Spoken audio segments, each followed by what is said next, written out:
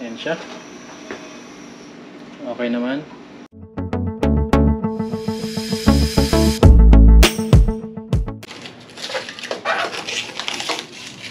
So welcome back to my channel. So nagka-problema tayo dun sa ating uh, unboxing video nitong ating uh, single burner gas stove.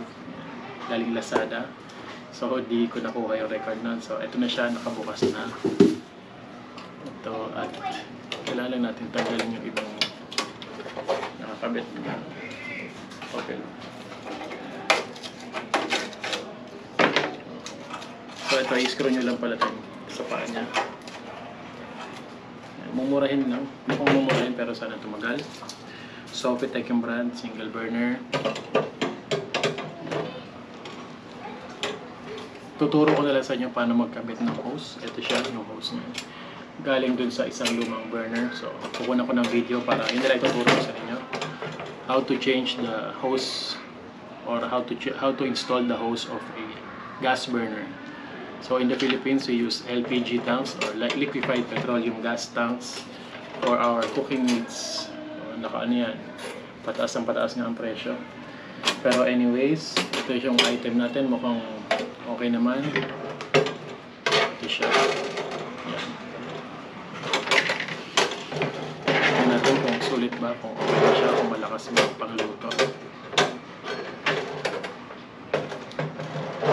If bago, bago ko nga lang pala sa aking channel is don't forget to subscribe, click the bell icon so you get notified when I post new videos. Magpapawisan tayo.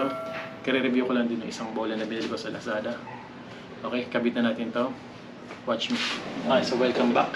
Ito pala yung ating lumang gas stove. Ang tatak niya is Tough Mama, pero parang hindi siya ganun katak.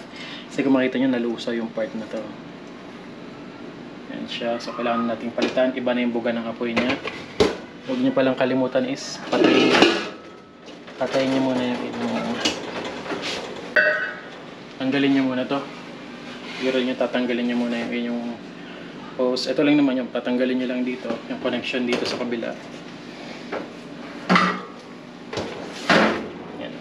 Gamit yung simple screwdriver para lumuwag.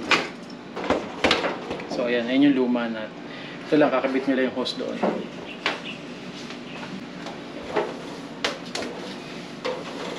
Okay, ito na yung hose natin. Kailangan na lumuwag ng konti yan. Shoot nyo lang yan dito sa hose natin sa likod. Yan. Pasok nyo muna yung, uh, yung lock. Pasok nyo lang muna yan dito. Mahirapan tayo dito sa ating lock. Masyadong maliit. Pati yung hose maliit. Hmm. Okay, so medyo medyo nasira itong ating uh, pang-lock sa dulo. Temporarily, pwede nyo naman gamitin ng alambre. Yan, ginamit ako ng alambre. Siguraduhin nyo lang hindi siya natatanggal. Ano siya.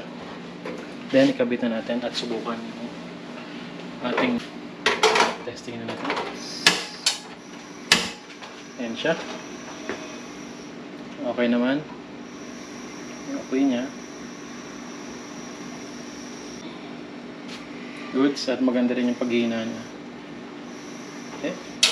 Like and share my video. Thanks for watching.